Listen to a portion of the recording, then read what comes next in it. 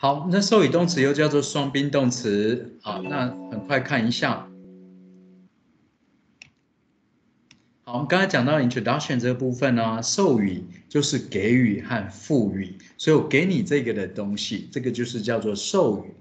宾呢，其实就是指客人，来宾就是指客人。在英文的学习里面呢，比方说我们用这一幅的图来做一个的例子。今天我给这个的植物给你，你看到这个的植物在我的手上拿到你的手上去，所以植物经过两个人的手。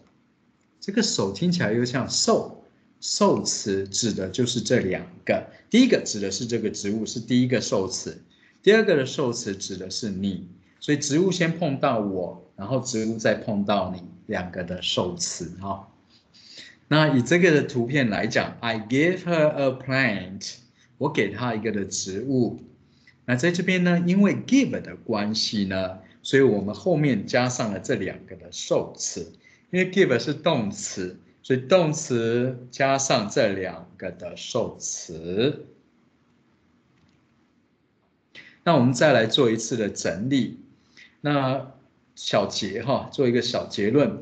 I give her a plant，因为 give 这个的字，它有给予、授予的意思，所以呢，它叫做授予动词。所以要有一个人给，有一个人授，这叫授予动词。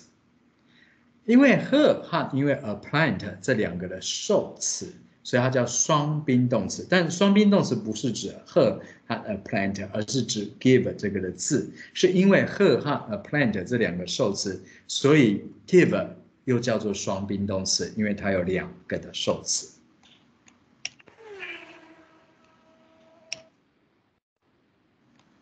好，接着我们来看一下 body part。那我们知道这个。双宾动词授予动词的定义之后，我们来看看要怎么去做运用。I give her a plant，刚刚那一句话可以等于 I give a plant to her。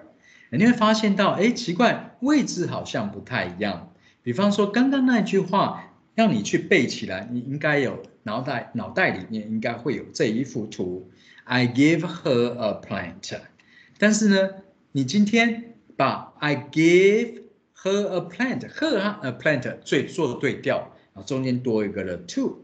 I give a plant to her。这两句话事实上一样，可是如果你用中文去做解释，上面那一句话叫做我给他一个植物，底下的这一句话就比较不不太方便，不太容易用中文去做解释，因为你可能会解释我给一个礼物，呃，给一个植物给他，那你就会多一个给的意思，就有点 K K 的。那相同的一个的概念啊，你这个的植物啊，一生十，十生百，一理同同理可证啊，所以从这边你都可以知道，这里所有的字，你看到那个中文啊，从 give 到 send 到 sell 到 land 到 write 到 throw，那我全部都用同一个的句型。当然你不会丢它一个的植物了，也许了哦，小植物，你可以说哎，可以接住写它一个植物，对啊，我写植物这个字啊，哦。所以也许说得通了。那那我们刚才讲可以去做一个的替换啊，这个的替换呢，全部都是 to。所以 to 的太阳照着这个 to 的植物，全部长出的都是 to。那你可以用一个口诀啊，比方说给人物等于给物兔人，所以这里给人物等于给物 to 人，这里全部都是用到 to。但是有两个很特别。这是比较大的一个的观念，这两个它使用到的是 for 那刚好这两个都是 b 开头，bring 和 buy，所以老师特别建议你把这两个记起来，b 开头的这两个字是加上 for 那你一样用二分法去记，所以你就去记哦，这两个 b 开头的是用 for，其他的你可以很大胆的，就是用 to。那考试来讲，除非你考得很细。不然，大部分来讲，这样子应该拿到九十分、一百分没有问题。再更细一点，会用到 of 这个字，of，of 这个字也有，像 ask，I ask him of a question，我问他一个问题，I ask him a question，就是等于 I ask him of a question。但这个部分不在我们今天要讨论的范围。